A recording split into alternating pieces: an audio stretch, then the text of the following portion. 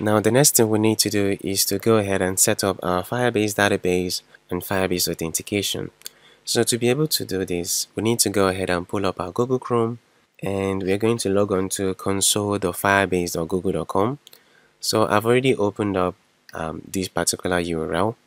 So when you do that, this is exactly what you're going to see. For you to be able to have a Firebase access or a Firebase account, the only thing you need is only a Gmail address. So I already have a Gmail account logged in into my Google Chrome. So if you have that, you'll be able to access Firebase console. So as you can see, I have a couple of old projects that I've worked on in the past, which is what we see here. So what we need to do is to go ahead and create a new project. So we're going to click on add project. Alright, so the next thing we need to do will be to enter our project name. So I've been thinking for a very cool name for this app. I think to call it G Taxi would be nice. G stands for green. So we already know that anything green is life. So we're going to call it G Taxi. Alright, so I'm going to go ahead and click on continue. We don't need Google Analytics, so I'm going to go ahead and create a project. So this will roughly take a couple of seconds depending on your internet speed. So our project is almost ready. Alright, so we are ready to go. So I'm going to go ahead and click on continue. Alright, okay, so this is our dashboard. This is the first thing that we see as soon as we create our project. So we can see all the different products that we can actually make use of. So like I said, there are actually two types of databases here. So now the next thing we need to do is to go ahead and set up our Firebase database. Okay, so this is going to take a couple of minutes depending on your internet speed to come up. Okay, so we have our database is fully loaded up, but we don't actually want to use Cloud Firestore, so we're going to skip this, scroll down a little bit more.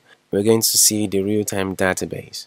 So we're going to go ahead and click on create database and we are going to start in the test mode. In the test mode means that there is more like minimum or minimal security you can easily write and read from the database. So we're going to start in test mode, but we'll talk about the security later on. Now the next thing we need to do will be to go ahead and click on enable.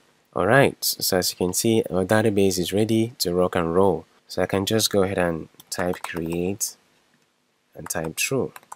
Okay, so this is our real-time database. This is what it looks like. It is a very massive JSON tree so as soon as we get into the app, we will start writing data to this database and we can always see the information saved on this database in this panel. Now the next thing we need to do will be to go ahead and enable our Firebase authentication.